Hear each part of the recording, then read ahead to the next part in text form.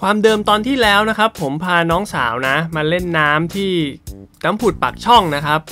ก็หมดไปแล้ว 1 วันนะ ไม่ได้ทำอะไรเลยนะครับ เล่นน้ำอย่างเดียวนะฮะวันนี้วันที่ 2 นะครับ ของการออกทริป ผมขึ้นเขาใหญ่แล้วนะฮะเดี๋ยวมาดูกันต่อว่าเหตุการณ์จะเป็นยังไงนะครับ ไปดูกันเลยแต่ที่แรกที่ต้องมาคือที่นี่ก่อน เอาตาประทับอุทยานก่อน แผนของวันนี้นะครับคือการมาจองบ้านพักอุทยานนะครับ แล้วก็ พอตกเย็นเนี่ยก็จะเข้าบ้านพัก แล้วก็เตรียมตัวไปนั่งรถส่องสัตว์ตอนหัวค่ำนะครับ แต่ปรากฏว่าแผนต้องพังทลายนะฮะ พอเดินเข้ามาถึงเนี่ยเขาตั้งป้ายไว้เลยว่าบ้านพักอุทยานเต็มนะครับ ก็เลยทำให้แผนที่จะต้องแผนที่จะส่องสัตว์ตอนกลางคืนนะฮะถูกพับไปโดยปริยายนะครับ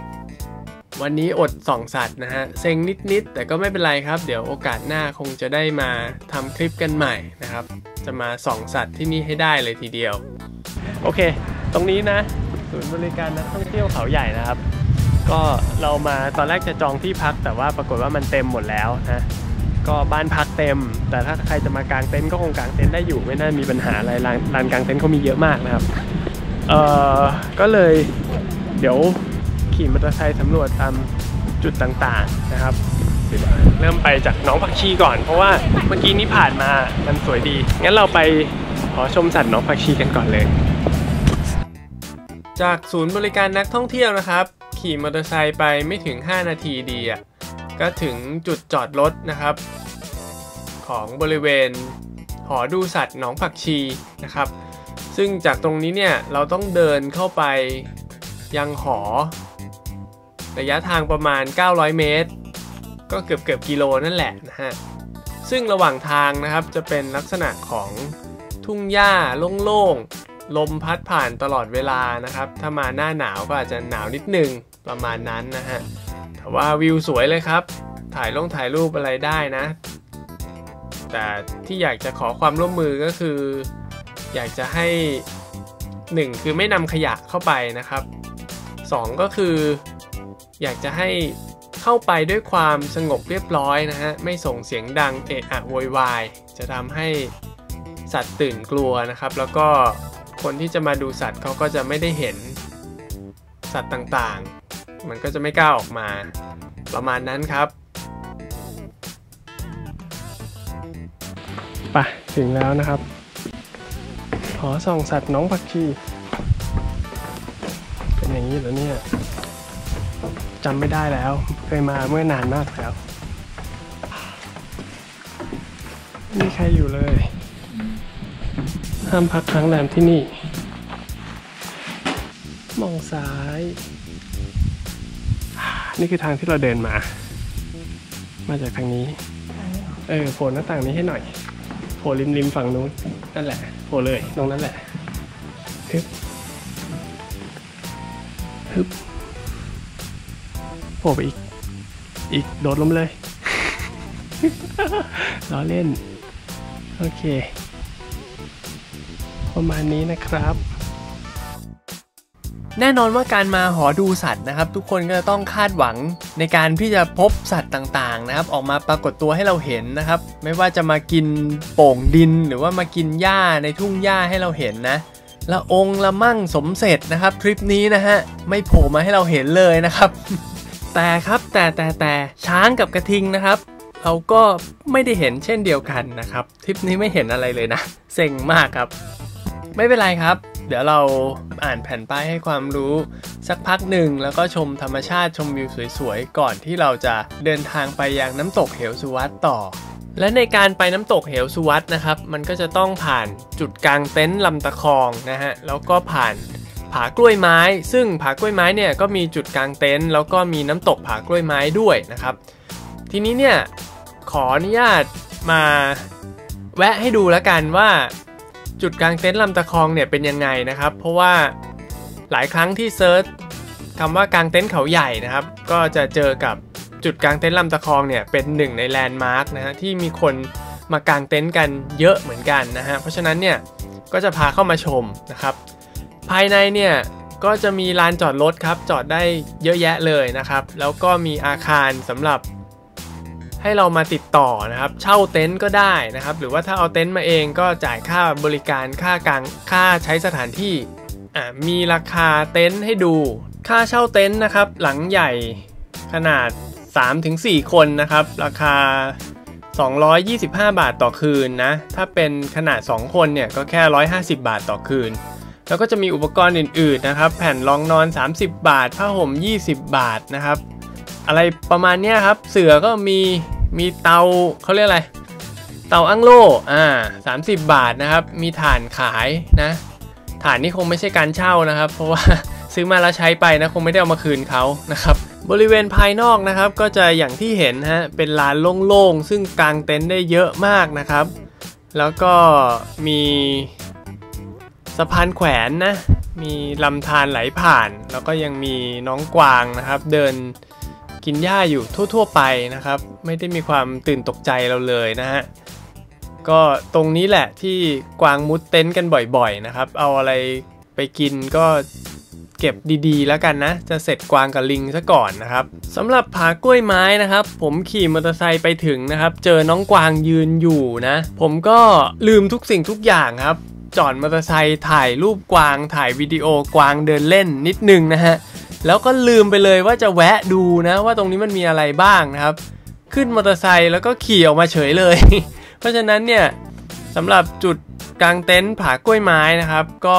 ต้องขอโทษด้วยนะ ไม่ไม่มีรายละเอียดให้ดูว่ามันเป็นยังไง ตรงนี้ขอข้ามไปเลยแล้วกัน เพราะว่าลืมนะฮะข้ามกันมาที่น้ำตกเหวสุวัตเลยก็แล้วกันนะครับ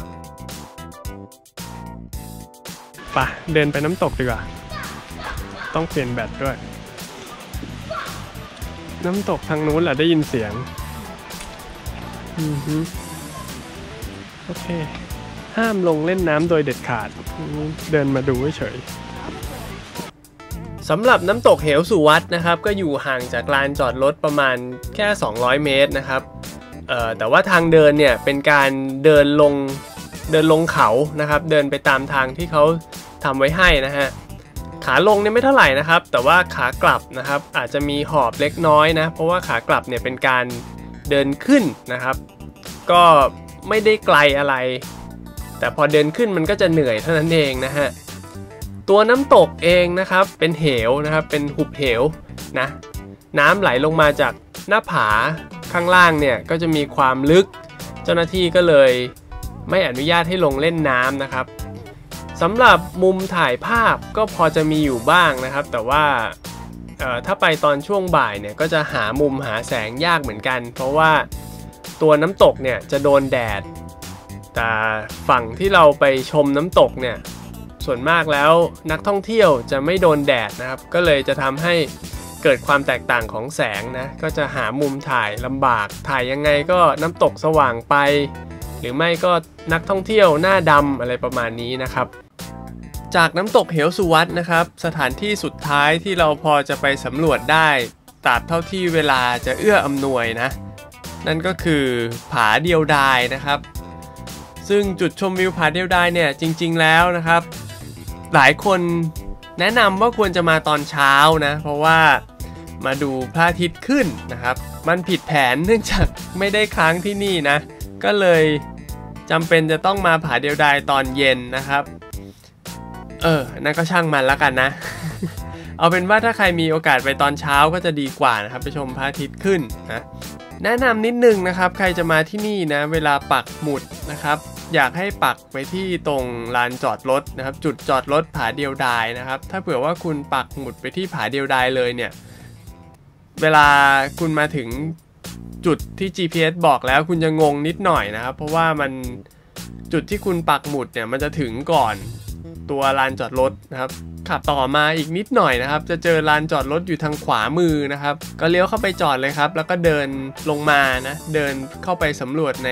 เส้นทางศึกษาธรรมชาติผาเดียวดายนะครับเขาก็จะเขียนไว้ว่าเดินครบรอบเนี่ยก็ประมาณครึ่งชั่วโมงเองไม่ไม่นานอะไรนะครับ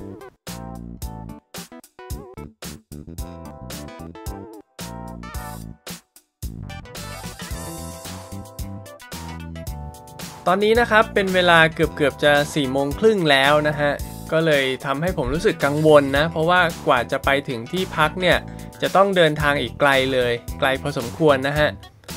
ก็เลยทำให้ผมอยากรีบออกจากบริเวณผาเดียวดายนะครับ แล้วก็ขี่มอเตอร์ไซค์ไปออกจากเขาใหญ่ทางประตูทิศใต้ หรือว่าประตูทางฝั่งปราจีนบุรีนั่นเอง มันก็จะตรงตามแผนที่วางไว้นะครับ ก็คือขี่มอเตอร์ไซค์ตัดผ่านถนน เส้นที่ผ่ากลางเขาใหญ่นะ จากประตูทิศเหนือมาประตูทิศใต้นะครับ ให้ครบทั้งเส้นนะ เออ นี่แหละครับ ตรงนี้เนี่ยทำให้ผมได้เจอกับอีกหนึ่งแลนด์มาร์คที่คนเขานิยมถ่ายรูปกันนะฮะ นั่นก็คือถนนที่เป็นมีความชันเยอะๆนะครับ กล้องโกลโปรนะครับ ถ่ายมาแล้ว มันมองไม่เห็นมิติเหมือนที่ตาเราเห็นนะ คือตาเราจะเห็นความยิ่งใหญ่ความแบบความลึกความสูงของถนนเนี่ยมากกว่านี้นะครับ แต่อย่างไรก็ตามนะครับ สิ่งที่กล้องโกโปรพอจะบันทึกมาได้นะ ก็พอจะมีอยู่บ้างนะฮะพอจะได้รูปสวยๆ จากการขี่มอเตอร์ไซค์ผ่านถนนเส้นนี้อยู่บ้าง ไม่น้อยเหมือนกันนะ เอ่อ ต้องบอกว่า ตอนขี่ย้อนแสงอย่างเงี้ยฮะ เวลาเราเอาภาพไฟล์วิดีโอมาดูเนี่ย มันจะยังไม่ค่อยสวยเท่าไหร่นะครับ แต่ว่าพอลองแคปมาเป็นภาพนิ่งแล้วเอาไปแต่งต่อแล้วเนี่ย ก็ใช้ได้นะ ใช้ได้เลยนะฮะ ก็ขออนุญาตใช้พื้นที่ตรงนี้ในการเอาภาพมาแบ่งปันกันก็แล้วกันนะครับ ถ้าจะให้พูดถึงถนนเส้นที่ผ่ากลางเขาใหญ่นะฮะ ให้พูดถึงความสนุกของการขี่มอเตอร์ไซค์ผ่านถนนเส้นนี้นะ เอาอย่างนี้ละกัน ขอบอกว่า ผมชอบเขาใหญ่ ฝั่งปราจีนบุรีนะมากกว่าเขาใหญ่ฝั่งนครศรีธรรมราชนะครับ แต่ก็นานาจิตตังนะ ไม่แน่ใจว่าบางคนอาจจะชอบวิวภูเขาฝั่งนู้นมากกว่าหรือเปล่านะครับ อันนี้ก็เป็นความเห็นส่วนตัว ใครอยากจะพิสูจน์ว่าอันไหนสวยกว่า ผมแนะนำให้ลองไปด้วยตัวเองครับ แล้วก็มาบอกกันมาคอมเมนต์กันได้นะฮะ ว่าคุณมีความคิดเห็นเป็นยังไง สำหรับการเดินทางในวันที่ 3 นะครับ วันสุดท้ายของการท่องเที่ยวในทริปนี้นะฮะ ตื่นเช้ามาก็ไปเขื่อนขุนด่านประการชนนะครับ เป็นสถานที่ที่เรียกได้ว่าเป็นเอ่อ destination หรือว่าจุดหมายปลายทางของไบเกอร์หลาย ๆ คนนะฮะ ทั้งมือใหม่ที่ออกทริปใหม่ ๆ นะครับ แล้วก็มือเก่าที่มากันหลายรอบแล้วนะฮะ ที่นี่ก็ยังเป็นสถานที่ที่แบบว่า ยอดฮิตนะฮะยอดฮิต เพราะว่ามันใกล้ใกล้กรุงเทพนะครับ แล้วก็ขี่มาชิลๆสบายๆนะฮะมีที่เล่นน้ำอยู่ใกล้ ๆ นี้เยอะมากนะครับ คนก็เลยนิยมมากัน แล้วอีกทั้งนะฮะยังมีมุมถ่ายรูปนะที่เป็นมุมมหาชนนะครับ คือจอดมอเตอร์ไซค์ตรงลานจอดมอเตอร์ไซค์ลานจอดรถนะฮะแล้วก็สามารถถ่ายภาพให้ติดเขื่อนนะฮะก็จะมีเขียน ป้ายตรงเขื่อนเขียนว่าเขื่อนขุนด่านประการชนตัวใหญ่ๆนะครับ อันนี้หลายๆ คนคงเคยเห็นนะฮะ ก็เลยเป็นหนึ่งในสถานที่ที่ผมรู้สึกว่าไหนๆมาแถวนี้แล้วก็ขอแวะหน่อยก็แล้วกันนะครับ ต้องขอบอกว่าผมมาที่นี่เป็นครั้งแรกนะครับ ในหัวก็มีแต่ภาพที่เป็นมุมมหาชนนะ ไม่รู้ว่าเขาถ่ายกันตรงไหนนะครับ ปักหมุดมาก็ปักหมุดขึ้นสันเขื่อนมาเลยนะฮะ หลงนะครับพูดง่ายๆนะฮะ ไอ้มุมที่เราจะเอาเนี่ยมันเป็นมุมถ่ายจากข้างล่างนะครับ คือคือปลายน้ำนะครับ ถ่ายย้อนขึ้นไป เห็นสันเขื่อนใหญ่ ๆนะครับ มีป้ายใหญ่ๆนะก็คือถ่ายย้อนขึ้นไปบนบริเวณต้นน้ำนั่นเองนะฮะแต่เราดันปักหมุดขึ้นมาบนสันเขื่อน เลยไม่ได้มุมนั้นนะครับ แต่ไม่เป็นไรครับช่วงตอนนี้เนี่ยไหนๆก็ขึ้นมาแล้วก็ขอเดินเล่นถ่ายรูป ตรงนี้ซะก่อนนะครับ แล้วก็ค่อยขี่มอเตอร์ไซค์ลงไปข้างล่าง ลงไปหามุมมุมนั้น ถ่ายให้ได้ภาพภาพนั้นก่อนจะกลับบ้านก็แล้วกัน เดินเล่นถ่ายรูปอยู่สักพักนะครับ บริเวณสันเขื่อนถ่ายจนไม่รู้จะถ่ายอะไรแล้วแหละ ก็เลยขับรถลงมานะครับ ถ่ายมาลานจอดรถมาเพื่อที่จะถ่ายมุมมหาชนนะครับ ตรงนี้เนี่ยผมได้ถ่ายเบื้องหลังมาด้วยนะว่า การได้มาซึ่งภาพ ภาพถ่ายมุมมหาชนของผมเนี่ย ผมใช้วิธีการยังไงจอดรถยังไงนะครับ ก็ลองดูดูเอาละกันนะ กล้องที่ใช้อยู่ก็เป็นเอ่อ EOS M50 นะครับ กับเลนส์50 mm f 1.8 นะ แล้วก็ระยะถอยเนี่ย เรียกได้ว่าหากันหลายรอบนะครับ สุดท้ายแล้วเนี่ยต้องไปจอดมอเตอร์ไซค์เนี่ย บจะปลายสุดของลานจอดรถเลยคือถอยไกลมากนะครับ เพราะว่าไม่อย่างนั้นเนี่ยมันจะเก็บตัวอักษรไม่ครบนะฮะเลน 50 มิลเนี่ยพอติดกับกล้องตัวคูณมันก็ยิ่งแบบ ยิ่งแคบเข้าไปอีกนะ กลายเป็น 8 ประมาณ 85 มิลเลยนะฮะ ก็เลยต้องถอยไกลมากอะครับ เข้ามาใส่ดิ ขึ้นขี่เดี๋ยวจับให้ จับให้ ไม่ได้ดิ อะ ขึ้นเลย จับไปแล้ว ขึ้นฝั่งคนขับ อืมนั่นแหละ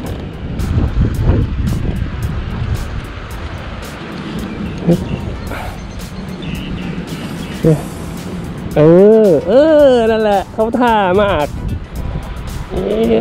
นั่นแหละครับแต่ผมดีดีๆเออ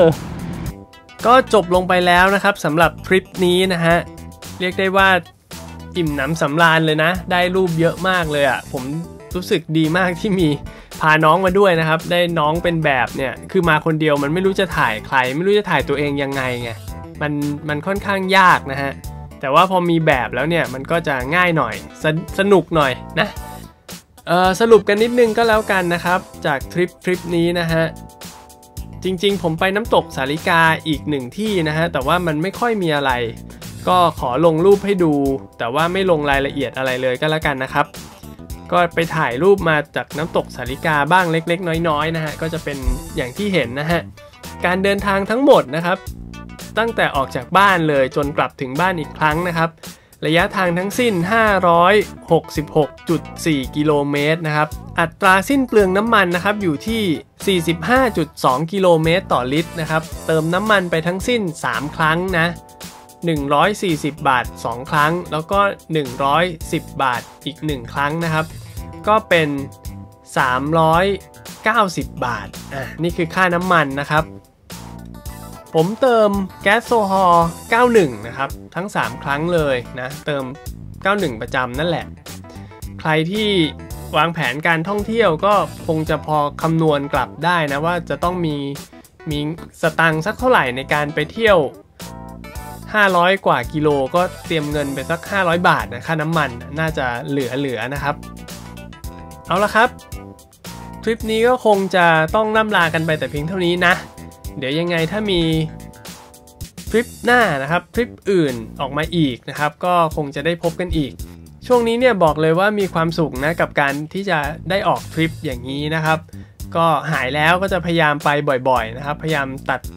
ตัดคลิป ให้ได้เรื่อยๆนะครับ ถ้ามีเวลาว่างถ้าสามารถไปได้ก็จะไปนะครับ ติชมได้นะ อยากอยากดูอะไรไม่อยากดูอะไรเนี่ยบอกกันได้นะครับ จะได้พยายามทำให้มันดีขึ้นเรื่อยๆนะฮะยังไงต้องขอขอบคุณที่ติดตามนะครับ พบกันใหม่โอกาสหน้าครับ วันนี้สวัสดีครับ